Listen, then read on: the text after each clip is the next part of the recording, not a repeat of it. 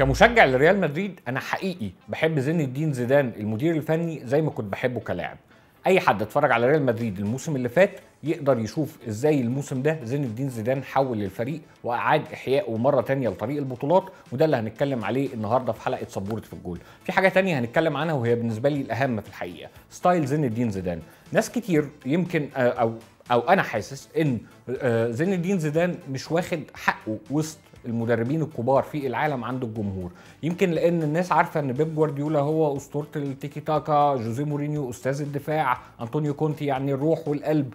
الإنجاز بتاع دييجو سيميوني في تحويل فريق صغير لحاجة كبيرة واضح للكل لكن زين الدين زيدان ملوش كورة معينة. يمكن بالمناسبة تكون هي دي أول نقطة مميزة لزين الدين زيدان إن الراجل ده بيلعب كورة يقدر يعمل بيها أي حاجة. بنشوفه بيعرف يهاجم بنشوفه بيقدر يدافع بنشوفه بيضغط عالي بنشوفه بيقدر يرفع الريتم ويبطئه زي ما المباراة محتاجة. وهي دي سر إنجاز أو عظمة زين الدين زيدان.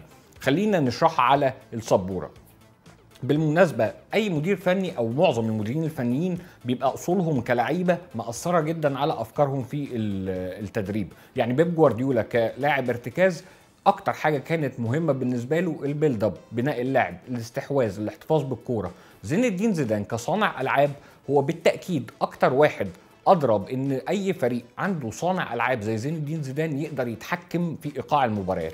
والتحكم في إيقاع المباريات هو زيدان style style بتاع زين الدين زيدان إن هو اللي يبقى متحكم تماما في توجيه المباراة سواء في رفع الإيقاع أو خفض الإيقاع. وده عن طريق إن هو يصنع ويحط أكتر من صانع ألعاب في أرض الملعب. وعشان هو أصلا صانع ألعاب عارف كويس قوي احتياجات صانع الألعاب إيه؟ احتياجات صانع الألعاب إن يكون في ناس بتتحرك في خط الهجوم بشكل كبير. فكان بالنسبة له مثلا كريم بنزيما ما بيلعبش كراس حربة هو كان بيلعب تحت راس الحربة. كريستيانو رونالدو ما كانش راس حربة صريح على قد ما هو كان بياخد الحرية في الحركة من الجناحين. هو بيخلق أهداف متحركة لصناع الألعاب. النقطة دي بقى مهمة جدا. صانع اللعب بيحتاج حاجتين. بيحتاج وقت يقف بيه على الكورة وعلشان يلاقي الوقت ده لازم يكون في مساحة قدامه يستلم فيها الكورة براحته ويتحرك زي ما هو عايز. وعشان تخلق لأي لاعب مساحة في العمق لازم ظهيرين الجنب يكونوا طايرين.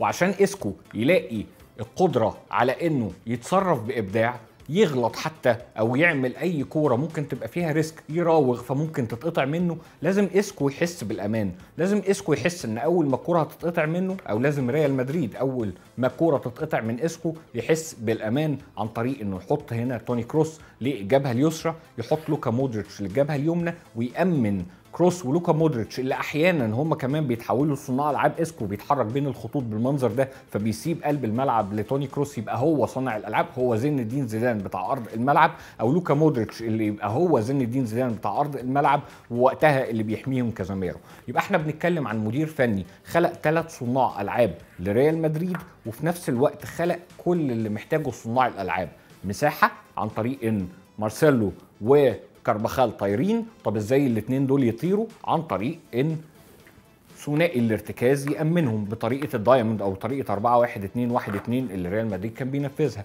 بمعنى إن توني كروس يتحرك للقلب ياخد معاه هو الجناح فوقتها مارسيلو يقدر يطير.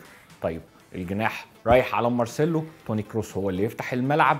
فيضطر يشد الجناح فمارسيلو يدخل للقلب. مارسيلو بيعرف يتصرف في القلب. طبعا مارسيلو واحد كان من أحرف الأجنحة اللي جت في تاريخ ريال مدريد.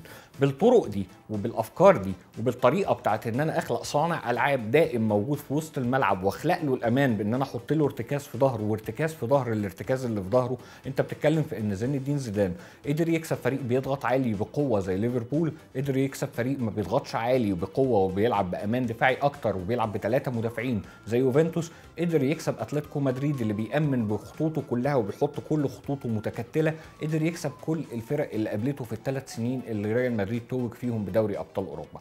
نيجي بقى للمرحلة الثانية اللي كانت صعبة جدا جدا جدا وهي عودة زين الدين زيدان. زين الدين زيدان لما رجع شاف المشكلة اللي كانت موجودة عند الفريق في الموسم اللي فات. إيه المشكلة اللي كانت موجودة عند ريال مدريد وهو بيلعب مع لوبيتيج على سبيل المثال أو سانتياغو سولاري بعد كده. اللي حصل إن كريستيانو رونالدو رحل عن ريال مدريد فأصبح ريال مدريد بطيء في الضغط على الخصوم. كريم بنزيما بقى هو ال center اللي موجود في الفرقة. إسكو مترهل الطموح انخفض. المشكلة بقت إن ريال مدريد خطه الأمامي ده ما بيساهمش في الضغط على الخصم بأي طريقة ممكنة. وبالتالي بمنتهى البساطة الخصوم كانوا بيقدروا يتحركوا بالكورة من غير أي ضغط فتقدر تعيد أي جون دخل في ريال مدريد في المرحلة دي أو طبعا معظم الأجوان اللي دخلت في ريال مدريد في المرحلة دي وتشوف إن إزاي بمنتهى البساطة ريال مدريد بيلعب بدفاع عالي لأنه ريال مدريد لأن هو ده الطبيعي بتاع الفرق الكبيرة لكن في نفس الوقت بما إن محدش بيضغط عليك فسهل جدا إن أي حد ينتقل بين خطوط الفريق ويستلم الكره بمنتهى الأريحية. اللاعب هنا واخد حرية مفيش أي حد بيضغط عليه وبالتالي قادر يطلع الباص بمنتهى البساطة وبمنتهى السهولة. ووقتها أصبح صعب جدا إن أي حد من لاعبي وسط ريال مدريد يساعد ويلاقي نفسه هو القادر على حماية خط الوسط من ثلاثة دايما كانوا بيتكاتلوا على ريال مدريد. وونس إن الكوره أو أول ما الكورة كانت بتوصل هنا بمنتهى البساطة أي حد بيجري ما بين الخطوط كان يقدر يستلم الباص بأي طريقة ممكنة. وظهر بقى الفريق عاجز معجز كمان وكل لاعب ظهر عاجز. طيب زين الدين زيدان عمل إيه لما جه؟ قسم اللعيبة لأكتر من نوع. النوع الأولاني زي مارسيلو. شكرا. مكانك على مقاعد البدلاء. فيرلان مندي أنت الأساسي في الفترة الجاية واحدة من الصفقات اللي كانت مهمة لريال مدريد.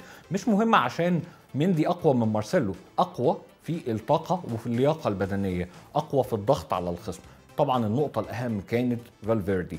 ريال مدريد عاد وطبعا في نوعية تانية من اللاعبين زي لوكا مودريتش اللي عاد ريال مدريد توزيع دوره في أرض الملعب علشان خاطر يقدر يستفيد منه بشكل أحسن ويقلل الضغط اللي عليه ويقلل المساحات اللي المفروض لوكا مودريتش يقطعها. ريال مدريد عنده كازميرو عنده توني كروس اللي اعاد مرة تانية كازميرو وتوني كروس أعاد وصولهم لأعلى مستوى وبالمناسبة دي واحدة من أهم مميزات زيدان إنه قادر يخلي كل لاعب يجيب التسعة من عشرة بتاعته وبشكل ثابت. الاثنين دول انضم ليهم فالفيردي. فالفيردي وجوده هنا مش وجوده مكان كازميرو كان مهم جدا. هو في الأصل بيلعب مكان كازميرو لكن وجوده هنا كان دوره إنه يضغط على الخصم هو هو اللي يعوض ريال مدريد عن الجزء اللي ناقص فيه. وكانت واحدة من أحلى مباريات ريال مدريد الموسم ده قدام فالنسيا في السعودية في السوبر الأسباني. لما لعب توني كروس كازميرو فالفيردي وبعد كده ابتدى بقى الطريقة الجديدة أو الطريقة اللي نفسه يطبقها واللي أعتقد إنه هيطبقها في المباريات الكبرى إسكو ولوكا مودريتش. مودريتش ما بقاش ارتكاز مودريتش بقى صانع لعب علشان خاطر يبتدي ريال مدريد يتحكم في الإيقاع بإن عنده اثنين صناع ألعاب أساسيين وفي نفس الوقت يبتدي يبقى عنده القوة البدنية عن طريق الراجل ده فالفيردي يقدر هو اللي يروح يضغط ويبتدي لوكا مودريتش واسكو يتراجعوا وتوني كروس يضغط. فيبقى الضغط موجود عن طريق ناس لعيبة أقوياء جدا واللعيبة اللي زي مودريتش واسكو يبتدوا يعملوا حاجة تانية. يبتدوا يحاولوا بس دورهم مش الضغط على قد ما دورهم منع الباصات السهلة للخصوم. وبالتالي يبتدي ريال مدريد يبقى منظم في عملية الضغط فيقلل بشكل كبير جدا استحواذ الفريق الخصم على الكورة فيرجع التحكم لريال مدريد. لما بيكون التحكم مع ريال مدريد بتبتدي بقى تتفرج على إسكو ولوكا مودريتش. بيعملوا إيه؟ إسكو بيتحول لمهاجم تاني. يبقى لوكا مودريتش هو اللي هيتحول لصانع لعب.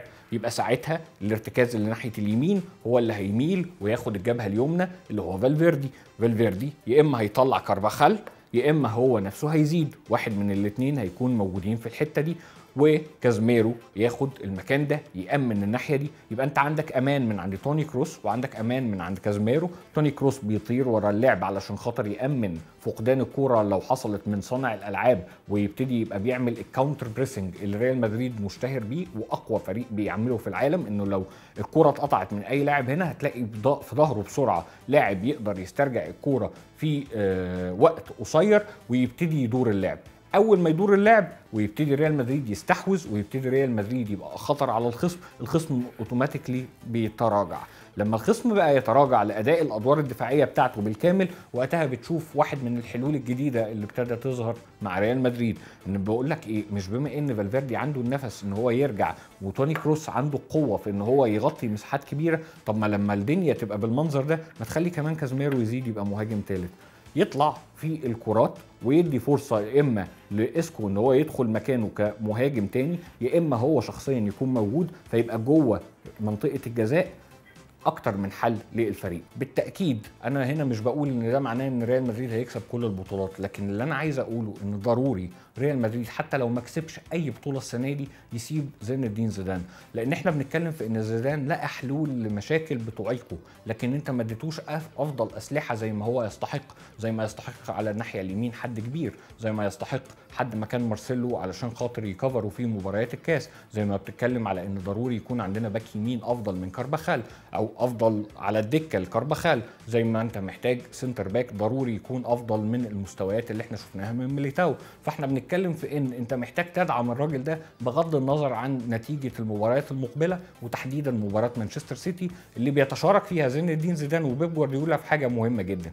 أنا مش مصدق إن على الإنترنت ساعات الواحد بيشوف إن جمهور بيقول على بيب جوارديولا فاشل. أو بيوصف ساعات مدربين كبار عملوا إنجازات كبيرة زي جوزيه مورينيو بالفشل. ممكن أتفق مع إنك مثلا تكون مدير فني كبير وبعد كده خفت بريقك. كلنا شفنا فابيو كابيلو العظيم وكلنا شفنا فابيو كابيلو اللي عنده مشاكل كتير. لكن إنك توصف بيب جوارديولا بالفاشل طب أنا يعني قبل ماتش ريال مدريد ومانشستر سيتي ريال مدريد عنده مباراة مع سيتي زيدان لو اتغلب هيبقى فاشل طب والثلاثه دوري أبطال أوروبا؟ يعني ممكن الحظ يكون لعب معاه في ماتش في دوري أبطال أوروبا الأولى أو لعب معاه في دوري أبطال أوروبا الأولى كلها. طب والثانيه طب والثالثه طب ولما كسب الثنائية الدوري ودوري أبطال أوروبا؟ بالتأكيد ريال مدريد ما عندوش مدرب فاشل. يعني أكيد زين الدين زيدان مش مدرب فاشل. بيب جوارديولا نفس الموضوع. هل بيب جوارديولا مثلا لعيبة برشلونة هي اللي صنعت إنجازاته؟ طب ما هي نفس اللعيبة دي كانت مع فرانك ريكارد. حصل إيه؟